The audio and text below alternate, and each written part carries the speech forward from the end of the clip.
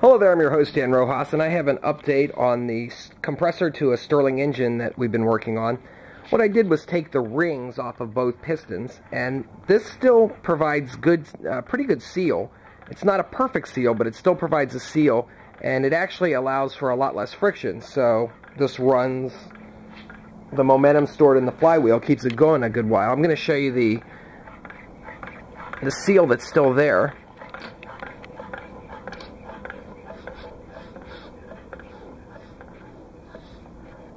I'm not sure if you can hear that. For the displacer piston, what I was able to do was find a Noxzema can, bikini spray, that actually fits down there perfect. It doesn't rub.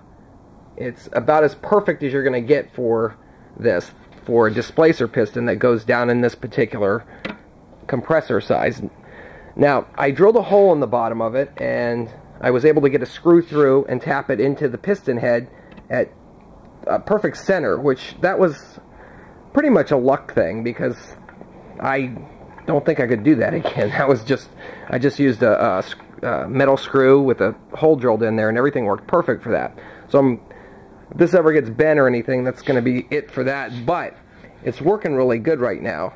What I need to do is place a cover over this so we can actually get the air to expand and push this down. I'll seal this hole up. I'm going to probably use one of these screw holes because it's sealed all the way down as to transfer the air from one side.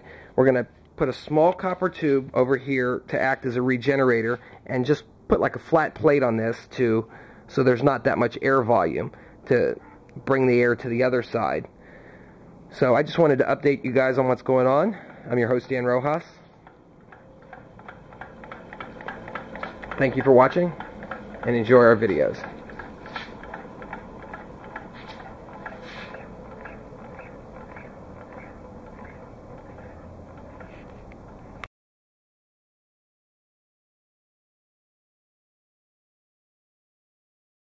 A cover over this so we can actually get the air to expand and push this down. I'll seal this hole up. I'm going to probably use one of these screw holes because it's sealed all the way down as to transfer the air from one side. We're going to put a small copper tube over here to act as a regenerator and just put like a flat plate on this to so there's not that much air volume to bring the Thank you for watching and enjoy our videos.